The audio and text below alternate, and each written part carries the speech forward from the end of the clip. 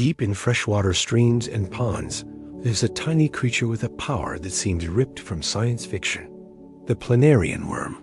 These flatworms may look simple, but they carry one of the most astonishing survival abilities in the animal kingdom the power of regeneration.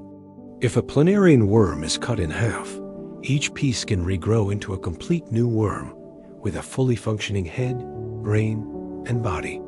This incredible process is powered by their abundance of stem cells, called neoblasts. Unlike most animals, whose cells are specialized and limited, the planarian stem cells can transform into nearly any type of tissue. This means that whether a part of the worm is lost, it can rebuild organs, muscles, and even an entire nervous system from scratch. Scientists have even observed a tiny fragment of less than 1% of the worm's body regenerating into a whole new worm.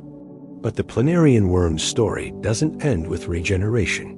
These creatures also exhibit memory retention during the process. Researchers discovered that even after their heads are removed and regrown, planarians can retain learned behaviors, suggesting that memory is somehow stored beyond just the brain. This mysterious phenomenon has fascinated scientists for decades and continues to push the boundaries of what we know about biology, memory, and regeneration.